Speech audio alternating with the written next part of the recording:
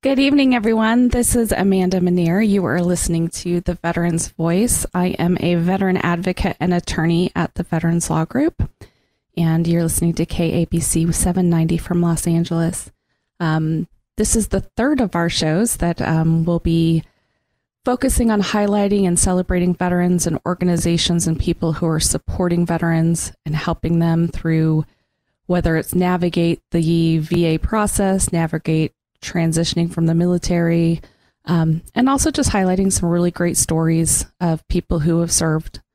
A little background about me I um, grew up as a child with a healthy dose of respecting the military. My mom always taught us that it was our responsibility as civilians to take care of the military and their family while they served overseas.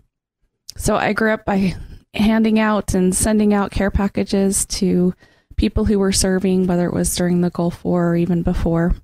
Um, I also live in Southern California, which means that I have a lot of friends who are serving and have served as well as their families. And I am so very happy to have a guest here today who I have a lot of respect for, and you're going to hear some amazing things about. Um, Mike, are you on the line with us? I am Amanda. Awesome. Well, generally, I just go by first names here um, so that you can feel comfortable sharing with whatever you want to share. Um, but what I would love for you to do is just kind of talk a little bit about how you joined the military, why you wanted to serve. You're a U.S. Navy veteran. Um, tell me a little bit about that beginning. Sure. Uh, thanks. Uh, I'll start off by saying thanks for having me on the program. I really appreciate the work that, that you're doing here. Uh, my background, uh, I joined the military primarily because my parents were immigrants from the Netherlands uh, and had suffered through World War II. Uh, they were teenagers uh, at the time. And in their recovery uh, in Europe, the goal was to build a, a new life. And my dad, who was in the conscription service in the Dutch army at the time, had the opportunity to to visit Canada as part of his uh, his time in conscription service, and uh, had a friend who lived uh, in California and was able to make a, a trip down there, and uh, you know had so much respect for what the U.S. was able to do um, in, in World War II uh, that he really wanted to begin a new life um, in in the United States and um, and support the United States. So when he and my mom got married, they began the visa process. Uh, and although it took a while, it took about five years for him to be able to make his way uh, out uh, to California. He started a new life out there and was just always really appreciative for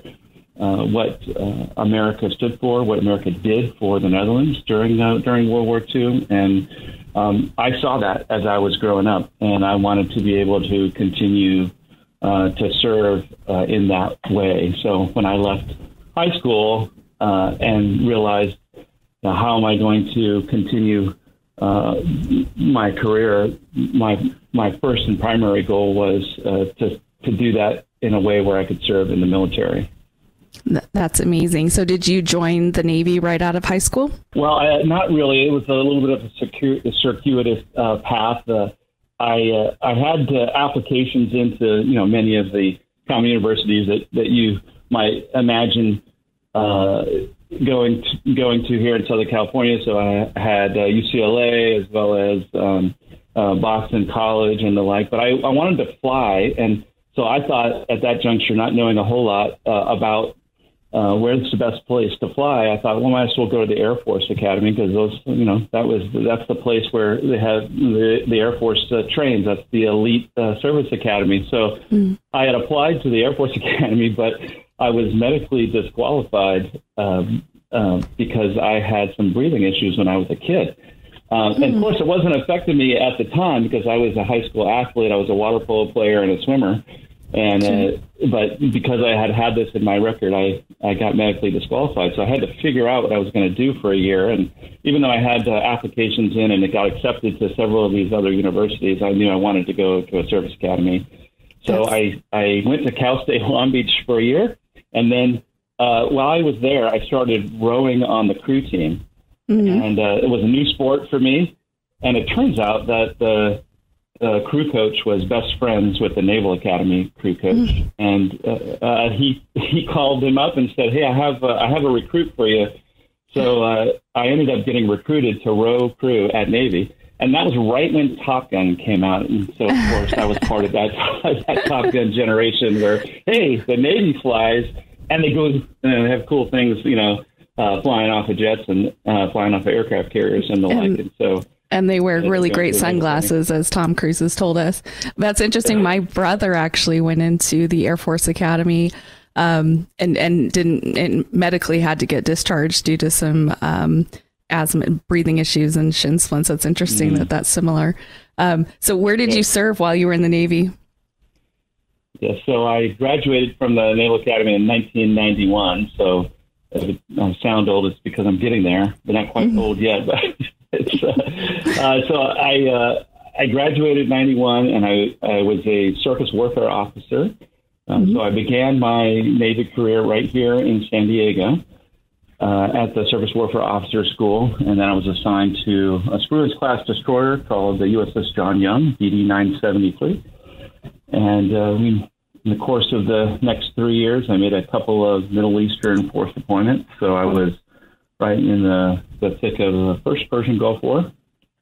And so I was the recipient of some of those care packages, most likely that you, that you were. I was just thinking that you could have gotten one of my care packages. I uh, could have. Very just so. to recap, real, yeah, absolutely. Just to recap real quickly, you were listening to the Veteran's Voice. This is Amanda Mineer, and we are talking with Mike, who is a U.S. Navy veteran. He is also serving veterans at the time.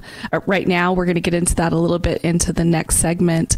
Um, Mike, tell us a little bit about you ended up retiring, correct, through the military? I, I did. I served for 22 years, and I retired in 2013. And then I began serving my next phase uh, of service as a government service employee, which I'm still doing to this day. Awesome. And we're going to talk about that a little bit in the next segment. You also have children who are serving, correct? I do. I do. Uh, so just been really grateful um, to uh, have them see the type of service that we were able to go through. I've had some really positive experiences in the military, challenging for sure, uh, mm-hmm. but the military has always been really uh, supportive as a community, as a family. Um, they saw me serving, and uh, I have two sons that also uh, are currently uh, serving. One is a second lieutenant in the Air Force, and he ended up ironically going to the Air Force Academy when uh, when I when I did it. So he's fulfilled my dream, and he's fulfilling my dream right now as he's uh, in the pipeline for jet training. Um, and so excited for him. And then my second son is still at the Air Force Academy, and at this moment, he is probably training some of the brand new cadets that just showed up for Indoctrination Day this week. well, I bet they're having some fun, or not. Um, and one of the things that I want to highlight too is that uh, just a, a, kind of a heart of service that I seem to run across so much with people who served in the military and are veterans. One of the reasons in which Mike and I know each other is that we both serve on a nonprofit board called Give Clean Water. And so not only does he help support veterans, he also helps support in the nonprofit world as well. Um, Mike, tell me a little bit more about like, did you serve the entire time in San Diego or do, have you been back and forth? Yeah, no, I was uh, kind of all around the world. I joined the Navy See the World, so did mm-hmm. three years here in San Diego, and then we uh, I lateral transferred to the meteorology and oceanography community actually, and so I went through basic oceanograph uh, oceanographic accession training, which was in uh, lovely Biloxi, Mississippi, and then spent a, a little bit of time there, and then went up to Monterey, California, which was uh, a nice area of the country, and and uh, did about five and a half years there. For every meteorologist and oceanographer, common in the pipeline is to get a master's degree in meteorology and oceanography.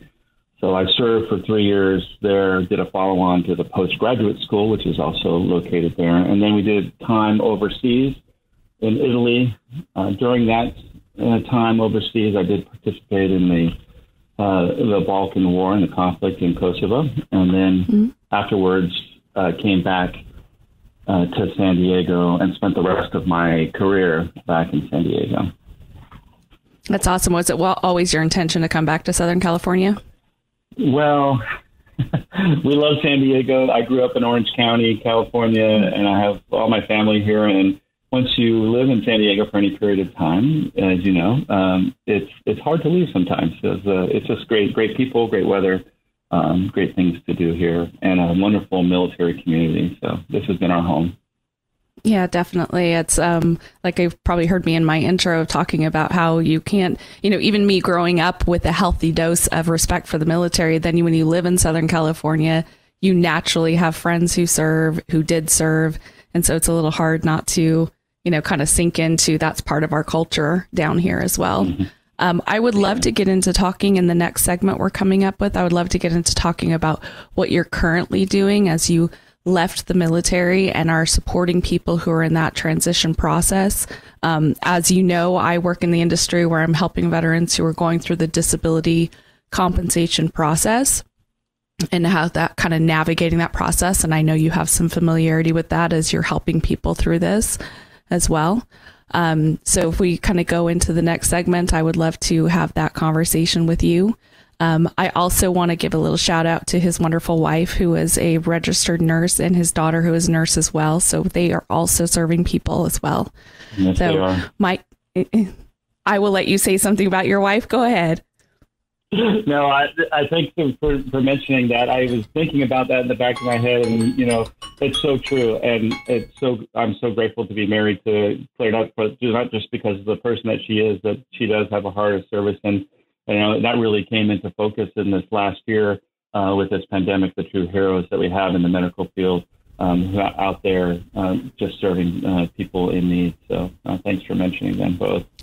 Absolutely. We're going to take a break and we will be back with Mike, U.S. Navy veteran, on the Veterans Voice with KABC 790 Los Angeles. Good evening, everyone. This is Amanda Mineer with the Veterans Voice. I am a veteran advocate and attorney at the Veterans Law Group. And uh, we're talking, we visited tonight with Mike. He is a U.S. Navy veteran.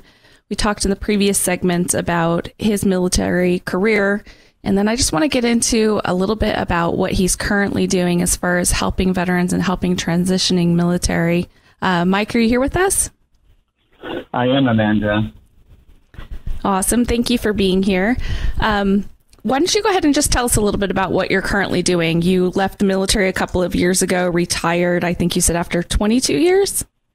That's correct. Yes, I retired in 2013 and then began working as a government service employee. And I was doing uh, chief of staff work for one of our West Coast groups with Naval Special Warfare, and I had done that for about six and a half years when the, the opportunity uh, arose uh, the commander uh, at the time, uh, Admiral Szymanski, was looking uh, to assist the Naval Special Warfare personnel. Uh, unfortunately, as a result, and the catalyst of that was some catastrophic events that had occurred within our formation in leading up to transition, and then some folks, you know, post transition, we did have a few suicides as well, and so he really wanted to take action and do something about preparing folks uh, for transition. And so he was talking about uh, putting together a, a focused effort uh, to align some resources to assist not just the service members but families prior to their release from active duty service to be fully prepared for post-military life and do some of these catastrophic events. And when I heard about that, that was right in my wheelhouse and something I was very passionate uh, about uh, and I was as I was helping folks uh, within the group uh, transition. And so when I when I mentioned that, he uh, he brought me up to the Naval Special Warfare uh, Command and helped. Uh, I helped start the program back in May 2019. So currently, I'm the director of what's called the Readiness for SOF Transition Program with Naval Special Warfare.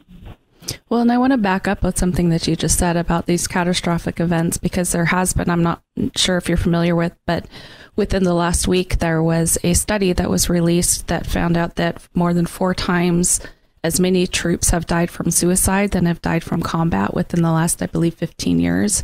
Um, it's something that we deal with a lot here. Um, with working with people who have mental health issues, mostly related mm-hmm. to post traumatic stress. Um, mm-hmm but also that uh, you and you brought that up that transition is not always just the mental health issues. It's that transition process of going from a world in which you you know eh, eh, eh, had support and had community and all of that kind of thing and then you're kind of transitioning out and not really having a direction or way to go which i think is so amazing about what you're doing.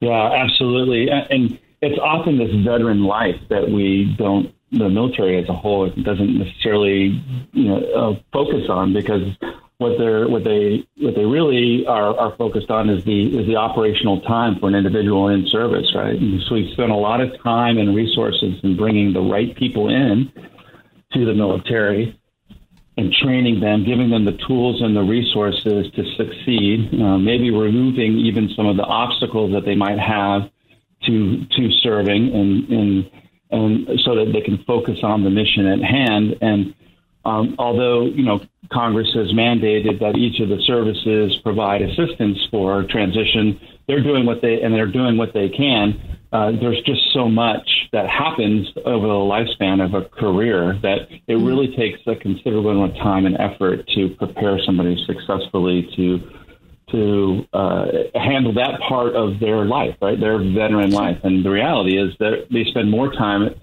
in the veteran life than they do actually in uniform. Yeah, generally they do. Um, and, you know, as I had mentioned, that I'm kind of helping people through the disability compensation process, which, you know, isn't a magic wand or anything that's going to resolve any of the issues. Like I talk all the time about how you know, helping somebody get compensation for their PTSD isn't going to make the PTSD go away. But I look at it as helping them to provide a financial foundation so that they can get help if that's what they need. And it sounds like a lot of what you're doing is to help them with that process uh, even before they even get out is to not just the disability compensation, but how do you create that foundation for them once they get out of the military? Right.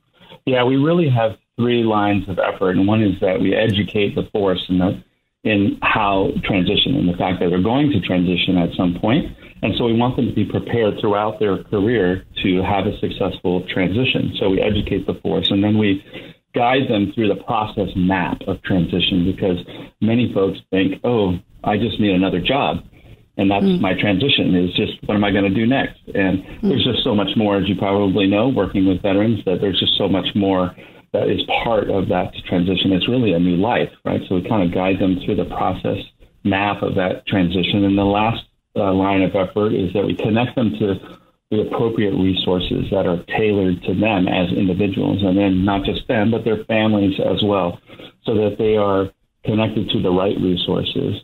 Uh, overall, the vision for the readiness for SOF transition is that we'll support force readiness by producing resilient, well adjusted Naval Special Warfare personnel and their families while they're in service, but who successfully transition to thriving veteran lives. Yeah, absolutely. And that just uh, we're we're talking with Mike, who is a U.S. Navy veteran. This is the Veterans Voice, and we're talking about how he um, helps support people who are transitioning from out of the Navy, out of the you know serving into the veteran life, um, Mike, what are some of the like I don't know words of advice that you would give to somebody? It's obviously somebody being in your program. I'm sure there are people who are serving in the military now going, well, how do I get in that kind of program? And even if they're not able to do that, what are some words of advice that you, having been in the military, transitioned out, have a thriving career helping veterans? What are some of the, I don't know, like I said, words of advice that you would give to somebody who's transitioning? Yeah, I would say that uh, the time to be thinking about transition is not two months before you know the end of your EAOS or you know when you pick your retirement date and you're two months away. So the if I could say anything, it's to start early uh, and thinking about uh, transition. And it does take time. It takes more time, I would argue, to leave the service than it does to get into the service mm-hmm. uh, yeah. because you want to be thinking about uh, what does my life look like? You know, what do I want it to be? Who am I becoming in that regard? And and so uh, we typically recommend that people begin earnestly preparing for transition at least two years prior to mm-hmm. transition. Uh, and and and what that looks like is is first and foremost, making sure that they've addressed all of the medical issues that they sure. may have been avoiding over the life of their career because they've wanted to stay operational, or right. you know, they there's I don't want to go to the doctor because um, then I won't be able to you know deploy or do my mission. So they're just going to give me Motrin. yeah, they're not going to do anything. I hear that all the time. Well, they're just going to give me Motrin and send me back to work. So I have three bottles. I just should take that. Right. I can self medicate. Yeah. And that happens in other ways as well, right? You know, um, and so uh, what uh, we recommend folks do is do a very thorough uh, medical history, uh, fill out the DD 2807 and fill it out um, in, in a way that you've, like, you're, you're, you're you're starting from the top of your head down to the bottom of your toes, and you're mm. you're addressing every single uh, issue that may uh, be there, even if it's if it seems minor, because you want to have uh, access when you do have access to care, right, like you do in, in uh, when you're in active duty service, uh, to take care of those things, so that further on down the road. Uh, when you're utilizing the VA services, there's a service connection, and so that's why. And sometimes that takes a long time, so that's why we recommend two years prior to transition. Yeah, and I often, one of the hardest, I mean, obviously, if a veteran is coming to a law firm to get help, it, they're not an easy case, right? The easiest right. case, I have to remind myself all the time in my cynical view of the VA that they do get it right at times. I just see the cases yeah. that they're not getting it right. And one of the most common things I see is a veteran who left the service, didn't seek seek any sort of medical treatment, but had an injury, like a back injury in service. And then 10 years later, that back injury has progressively gotten worse and worse. And now they're trying to seek service connection for it because maybe they're having a hard time working or, um, you know, just dealing with the pain of it. And I always tell veterans, it's like, you know, if you, if you get out of the military, even if it's a 0% service connection, that is going to be that's you've crossed the biggest hurdle, which is to get service connection, and you never know down the road whether you're going to need it or not. Yeah, absolutely.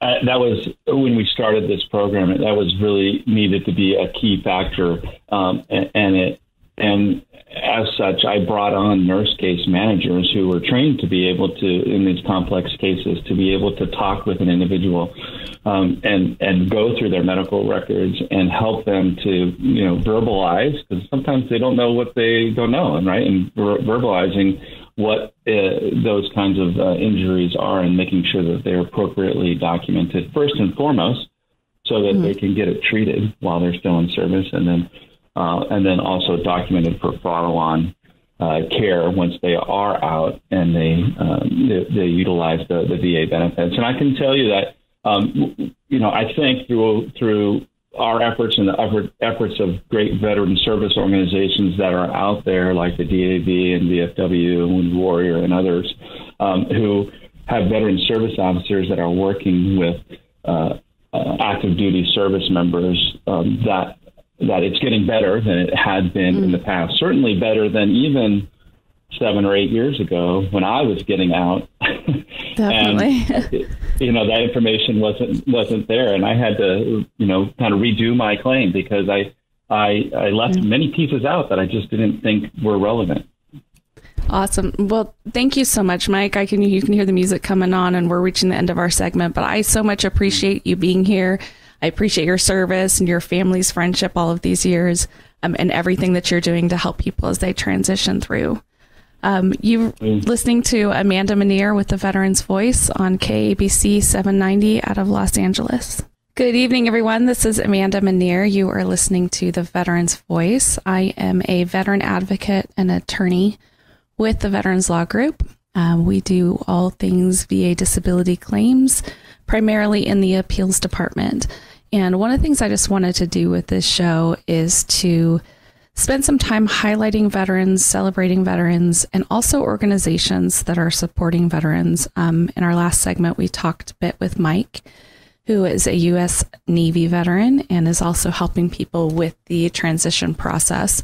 Um, if you're interested in learning more about what he does, um, or helping to support the organization that he's working with, you can definitely reach out um, you can reach out to us at veteranslaw.com and I will make that connection. Um, this next segment, what I would love to do is to introduce you to Star. And Star, we only use first names around here, so you are more than welcome to talk about whatever you would like to talk about. Uh, Star is a U.S. veteran, a U.S. Air Force veteran. And um, let's just start with introducing a little bit about you, how you ended up getting interested in joining the military, and what made you decide to join the Air Force. So uh, I had decided to join the military. I grew up um, with my grandfather, who was a World War II, Vietnam, Korea um, veteran. He was in the Navy. Um, and he had retired after 20 some odd years of being in the military. And so I, he loved to talk about all of his time overseas and everything. And so, um, growing World up War in the II, same Korea household as and him, Vietnam. He was uh, part Vietnam too, um, in the beginning of Vietnam. So Wow. he was like the into World War II. He went all the way through Korea and then part of Vietnam. Um, so he's one of those very few that served um, and got a lot of different experience um, in the different Sure. wars. But I he bet he had some good stories.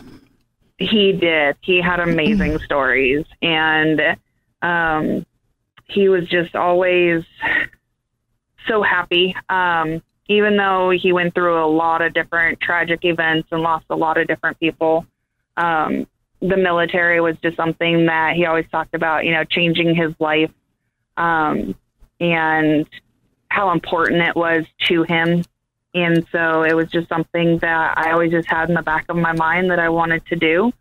Um, Mhm. I had thought about joining the Marine Corps, um, but after talking to my family and everything, everybody kind of persuaded me to join the Air Force. And so after long debates, I finally decided just to join the Air Force, and I was in it for four years and absolutely loved it. Awesome. And tell me a little bit about what you did in the Air Force. So I was security forces, law enforcement, um, and it's I'm one of those few that joined and actually requested that. Um, they tried to talk me out of it when I went in and talked to the recruiter because of my scores. Um, I actually had some high scores where they said, you know, you could you could pick anything you want, go ahead. And they said, no, I want to do security forces. I wanted to go in and work with the canine unit, um, but I just Mhm. didn't stay in long enough to get over to um, training with them. So Awesome. And what years did you serve? from 2008 until 2012. Okay. So I imagine you probably spent some time overseas. Middle East? Did w- I did one um, tour overseas? Yes, in the Middle East. Okay. And um, as far as like your military career, we're going to get into the next segment. I'm going to talk a little bit about more about what we do as far as disability compensation and your experience with that and that kind of thing. Um, I I will want I do want to get into a little bit more about your grandfather, if that's okay. Do you feel comfortable with that? Yeah. Okay. Um, what would you say like your favorite story that he told you about about being a veteran? And um, did he enjoy being a veteran? Did he like when people acknowledged him being a veteran, or was he a little shy about it? He loved it. He was one of those. He didn't tell all of his stories. Um, like he wasn't open about a lot of it, but there were things that he loved to talk about, and he was very, very proud um, to be a veteran and to you know be acknowledged. Yeah, absolutely. And, And, ha- um, do you do you feel the same way? Because people feel a little like, and we're coming up on the Fourth of July, and we just went through Memorial Day, and we've got Veterans Day, and it's always some, something that's interesting that when I do interviews, people ask me like, "What should you say to veterans? Like, should you say thank you for your service? Is that weird?" You know, I I would just love your honest answer on that. Like, how do you feel about that? I enjoy it. I really do. Um, like when people recognize it, not necessarily like me. Um, not saying, you know, it, I love that they say thank you um, for your service, and it's kind of hard because it's like, you know, what do you say back? Usually, I'm Mhm. like, thank you for Mhm. thanking me.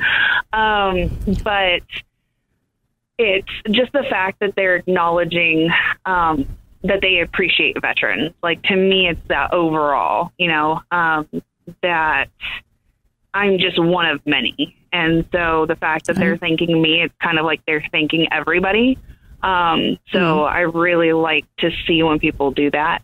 Yeah, absolutely. Um, we're talking with Star. She is a United States Air Force veteran. You're listening to the Veterans Voice on KABC out of Los Angeles. My name is Amanda Mineer, and I am a veteran advocate and attorney. And Star is not only a veteran, but she's also a paralegal in our office. And so we're going to dig into a little bit about that in the next segment about kind of that process. Um, but I wanted to just for the first segment here to really kind of acknowledge her family and her service um, with the and with the United States Air Force. And Star, your husband is also Air Force, correct? He is. That's how we met each other. Yeah. Okay. And uh, he also served overseas, and you have that kind of whole history together. Yeah. Okay. Um, we're going to talk in here in a few minutes again about you being a paralegal here. Would you kind of start with how you became a paralegal? Why were you interested in that? So I um, didn't know about the VA appeals process um, when I was going to par- the paralegal program. I was actually um, working with the Grossmont College um, as the like through the veterans um, like assistance program where you know you walk in and to use your chapter 31 or 33 mm-hmm. benefits and um, one of the girls there was talking about you know a paralegal program and just something so that i could get a job and not be um, just like an intern there. And so i went to the paralegal program and as i was going through it i kept mentioning about how you know i'm a veteran and i wanted to find a job working with veterans.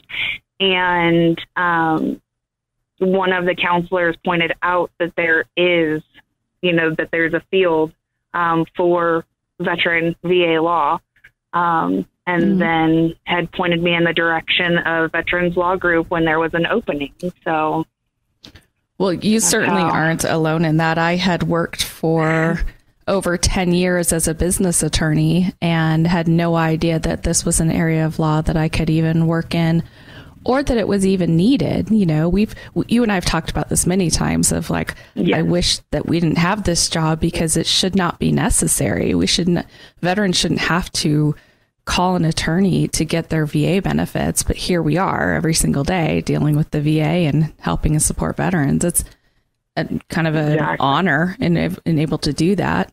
Um, but it definitely shouldn't be necessary.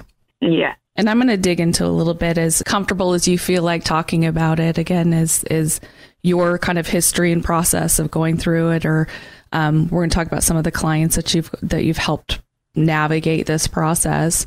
Um, I asked Ed about this on a couple of weeks ago when I had Ed, who was also a paralegal in our office, talking about this. As we brought up the uh, what we call the VA shame board in there about some of the kind of weirdness. I mean, I would call it weirdness, wouldn't you? With weirdness that comes out of the VA.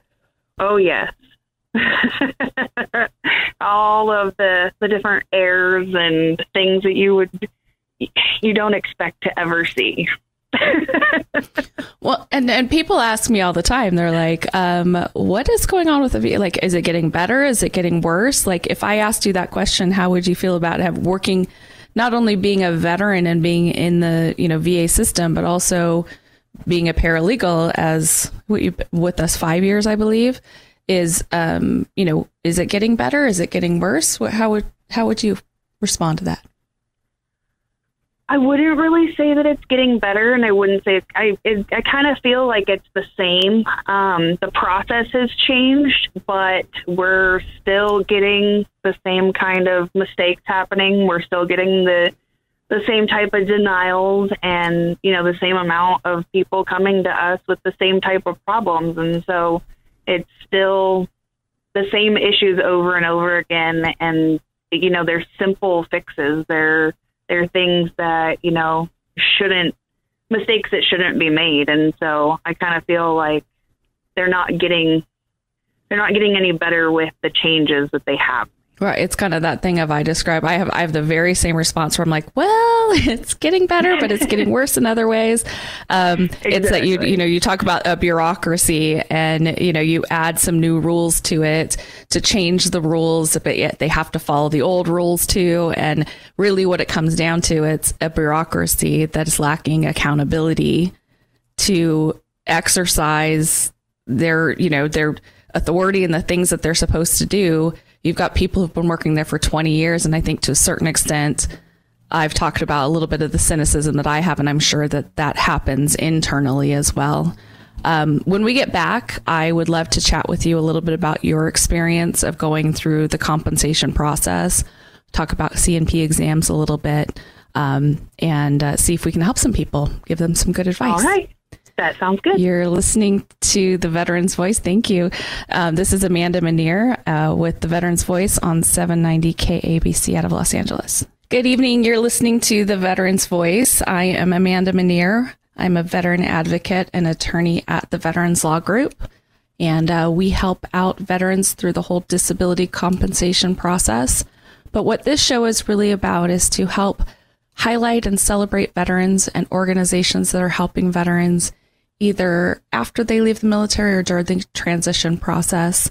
Um, also, like to highlight some stuff in the news as well as things that are affecting veterans as well. Um, this evening, we're joined by Star. She is a United States Air Force, Air Force veteran. She is also a paralegal in her office. And during the last segment, we spent some time talking about her military career, her family, how she got into it.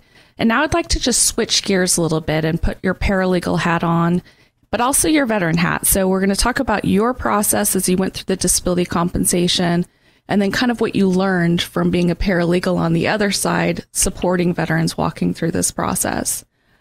Um, and, and I, again, I'll reiterate the fact that you can talk about as much as you want to, but I'm not going to push you to talk about your different ratings and all that kind of thing. I just want you to talk a little bit about the process itself. Um, when you were coming out of the military, how familiar were you with the process of getting your disability rating? How much education were you given?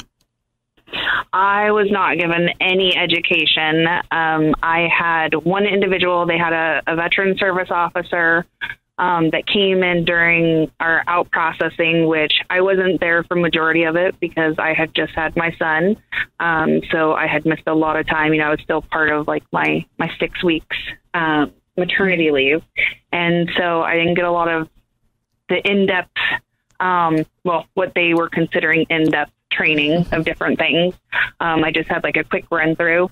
And they basically said that they were, they wanted a copy of my medical records. They gave it to a VSO.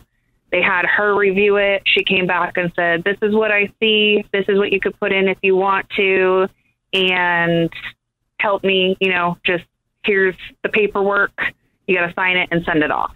And that was so it. So she and was she was pretty much looking through your current records and telling you what you could claim, but not really helping you to document things that maybe you hadn't gone to medical for. Is that fair to say? Exactly. Yeah, she didn't discuss anything with me. Um, she had me write before she reviewed the medical records. She had me write down a list of, you know, what was wrong with myself, um, mm. and then it wasn't like, oh, well, I see this or I don't see this, or you should go in and you shouldn't go in.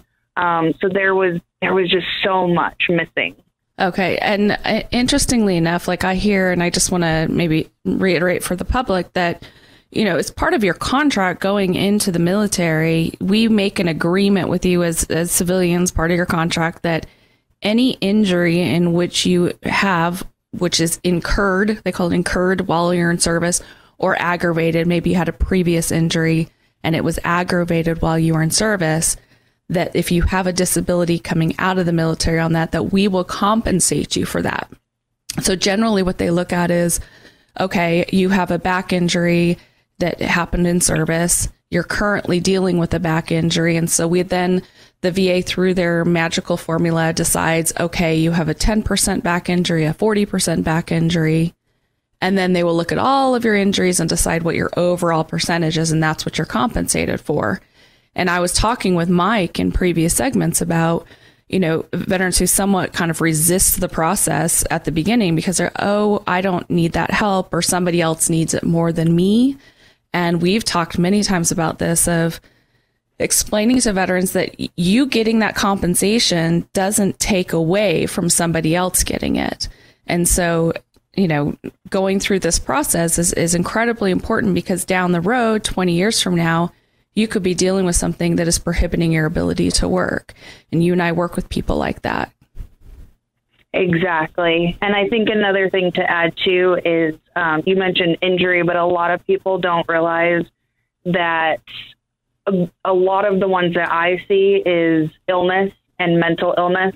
Um, I have a lot of friends that I came out of the military alongside of that had mental illness. Um, that they either were, you know, separated for or separated and then realized um, that like their schizophrenia or, you know, being bipolar was aggravated by the military service. And so they didn't realize until way later, you know, to bring that up. But it's hard to service connect it if you're not mm-hmm. getting it documented while you're in. Right. And we're working with a lot of people who it may be years later that they finally got a diagnosis and then they're realizing, oh, that's what was going on with me. You know, the sleepless nights, the, uh, you know, anxiety, all of that kind of thing that they didn't really necessarily know. So when we, you were talking a little bit about transitioning out and I hear this a lot of that. It's called the TAPS class, right? Yes. Yeah. And, and people who, you know, it's one of the many boxes that you're supposed to check when you're getting out of the military and most people are just ready to get out. So even, you know, outside of you were off on leave because you had your son, other people actually go through that class but do not absorb it because it's again one of many boxes you've got to check in order to get out of the military and it doesn't seem as important at the time as it may later. Exactly. And you have so much going on because you're still working. They still have you work until the very last day. Um, and you got to think, you know, you're you're thinking about moving back home, so you're cleaning out, you know, your rental place, or you're cleaning out your dorm room. Um, you're having parties with all of your friends because you know you're probably never going to see any of them again. Um, so you have so much going on at the same time, and the last thing that you want to really focus on is all of those boxes to check, and you're going to be so extremely tired that you know, you're not going to focus on all those classes because you're like, oh, I can figure this out later. Yeah, definitely. Uh, we're stuck, talking with Star. She is a U.S. Air Force veteran and also a paralegal that helps veterans through this process. And this is the Veterans Voice. I am Amanda Mineer with the Veterans Advocate and attorney at the Veterans Law Group. Um, Star, what would you say would be maybe your best piece of advice for a veteran as they're approaching this whole process? So, coming out of the military or filing a claim for the first time, or um, I would say approaching, approaching the process of getting the dis- their disability compensation. So, um, my the best advice I can give is be prepared for a long haul. Um, mm. You know, don't don't be discouraged by the first round, um, like the first decision that you're going to get. And mm. when you do apply, apply for everything. Um, and don't think that because it's been so long, especially for you know older veterans. Uh, my grandpa was ninety three when we finally put in um, for him again because he had mm. everybody had discouraged him along the way until I finally talked him into it again. Um, so it doesn't matter how long it's been. Put in for everything that you feel the military aggravated, like you incurred or the military aggravated. Um, yeah, and sometimes it's not just about, you know, we were talking earlier about people who feel like, oh, I don't need it, somebody else needs it more, that kind of thing. Um, some of the important stuff that comes down to it is that your spouse and your family may be entitled to stuff should you you know, pass on because of a service connected disability. So it's not always just about the veteran themselves, but it's about their family, their children getting benefits to education and that kind of thing. And again, I always go back to the fact that this was part of the contract that we signed. You know, you guys go, don't get paid anything while you're in the military. so the least that we can exactly. do is help to like support your family and support your and especially an injury that happened while you were serving overseas or just being, you know, part of the entire time, you know, you're owned by the military for those 10 years or however much you serve, whether you're at work or not.